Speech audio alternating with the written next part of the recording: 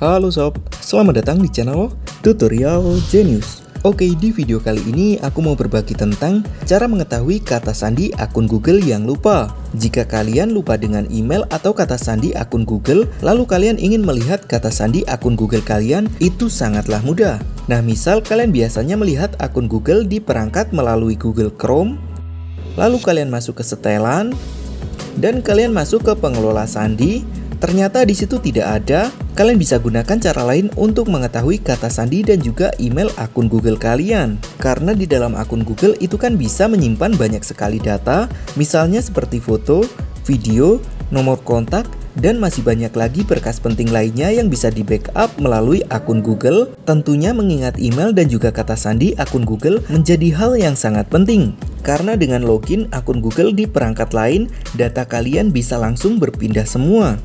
Nah, terlebih lagi buat kalian yang baru berganti HP tapi lupa dengan email dan juga kata sandi akun Google utama kalian dan kalian masih tetap ingin menggunakan akun Google tersebut karena banyak data penting di dalamnya, kalian bisa simak tutorial berikut ini untuk melihat kata sandi dan juga email akun Google kalian yang lupa. Baiklah, sebelumnya buat kalian yang baru bergabung, silahkan tekan tombol like dan subscribe-nya terlebih dahulu agar kalian bisa dapatkan informasi penting lainnya dari channel ini supaya supaya kalian makin jenius.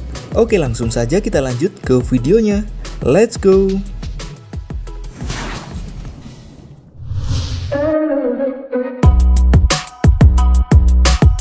Nah, untuk melihat kata sandi dan juga email akun Google yang lupa, langkah pertama di sini kita masuk ke browser bawaan HP kalian. Di situ kalian bisa gunakan aplikasi Google Chrome.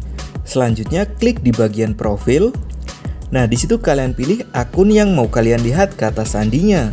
Lalu di bagian aktifkan sinkron, kalian klik saja setuju. Selanjutnya di kolom pencarian kalian ketik pengelola sandi.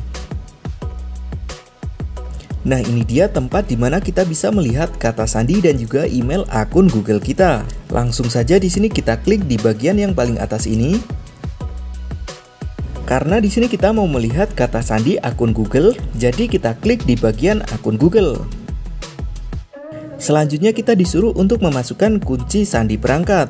Ini hanya untuk memastikan bahwa yang membuka situs ini bukanlah orang lain. Selanjutnya kalian masukkan kunci sandinya. Nah ini dia email dan juga kata sandi akun Google kalian. Untuk melihat kata sandinya, tinggal kalian klik ikon di bagian kanan, lalu akan tertera kata sandinya. Oke, itulah tadi cara melihat kata sandi akun Google yang lupa. Baiklah, cukup sekian video ini. Buat kalian yang ada pertanyaan, kritik, ataupun saran, silahkan tulis di kolom komentar. Jangan lupa like, terima kasih, dan sampai jumpa.